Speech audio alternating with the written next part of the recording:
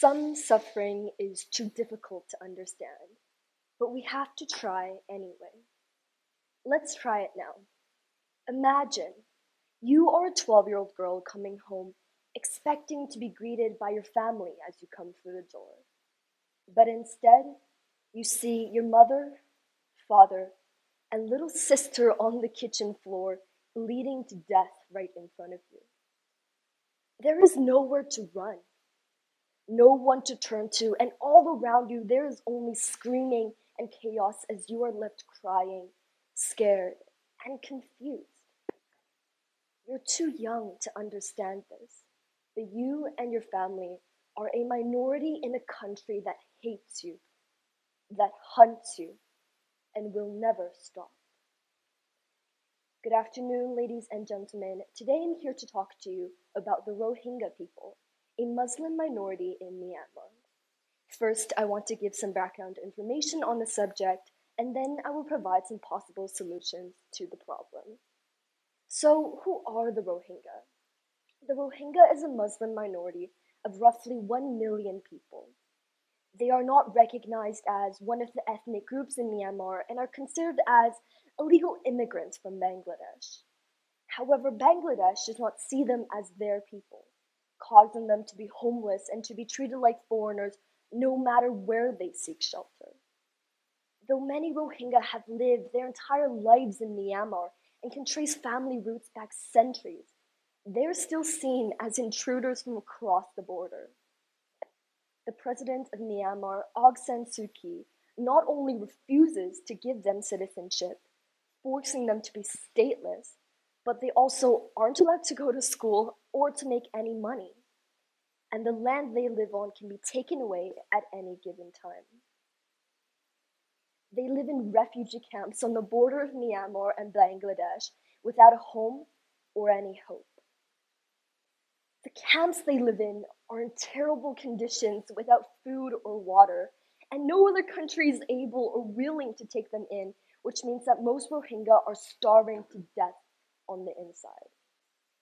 Since the Rohingya are Muslim and the rest of the country is Buddhist, the population of Myanmar harbors a deep hatred for the Rohingya.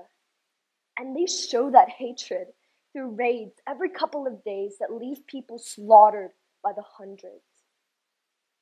In Rohingya refugee camps, violence, disease, trafficking, and murder runs rampant.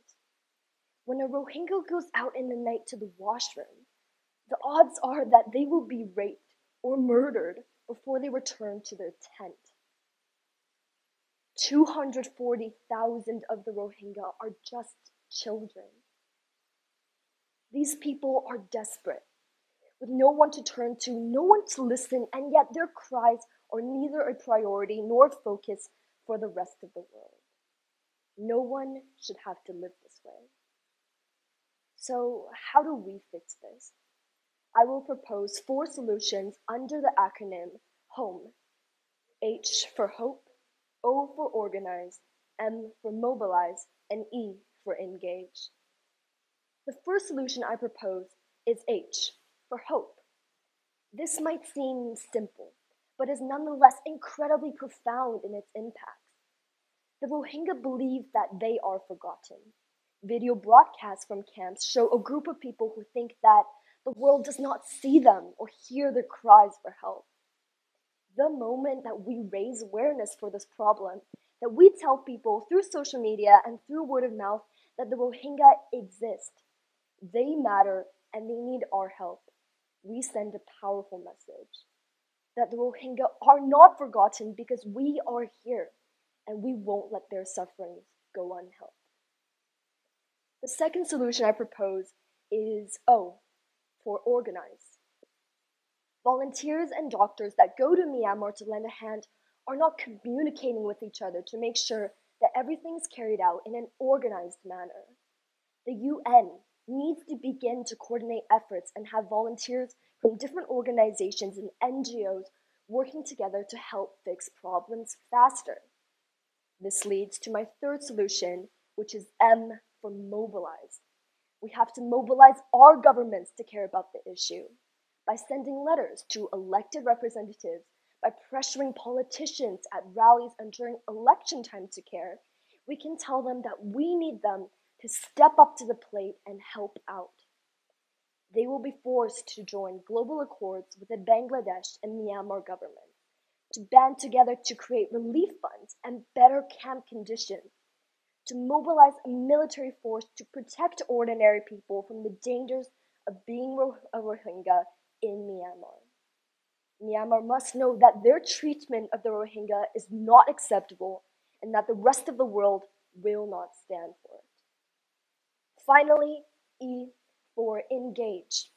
We can't just wait for governments to take a stand. We need to engage with the Rohingya ourselves, and we can. By sending money and resources through care packages to the Rohingya, we can ensure that they have some relief from the horrors of food and supply shortage.